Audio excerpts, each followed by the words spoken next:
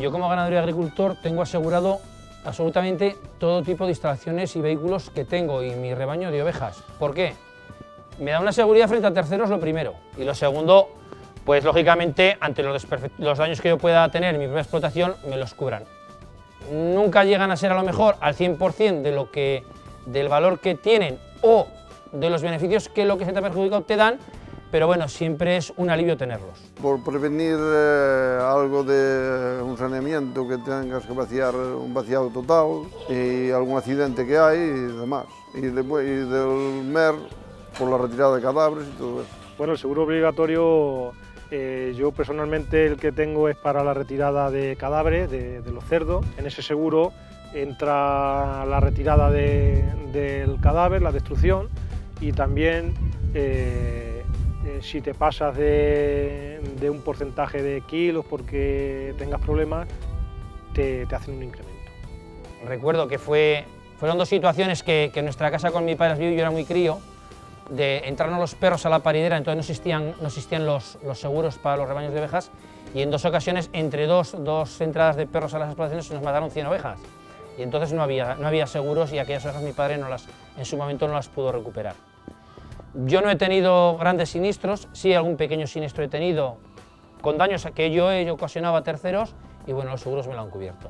Estoy muy contento y es, yo creo que es básico y, y fundamental que las explotaciones agrícolas y ganaderas eh, estén aseguradas. Hablas con los técnicos, ellos te ofertan las diferentes opciones que hay, no se busca que sea un seguro excesiva, eh, el más barato, sino que se busca el seguro que más cosas te cubra. Hay gente sí que no, que no tiene el seguro y hay otros que sí lo tienen, hay, hay de todas partes. Les diría que sí que tenían que apostar por, eh, por tener un seguro.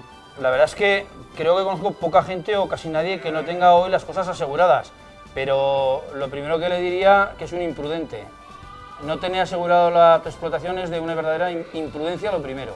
Y lógicamente, pues bueno, le diría que le aconsejaría y lo llevaría a, a, a que buscara un seguro pues similar al mío, pensando que los míos son una buena opción. Bien vía UPA o una opción que a fin definitiva primero asegurar. Luego si se viene con nosotros con la UPA, pues mucho mejor, claro está.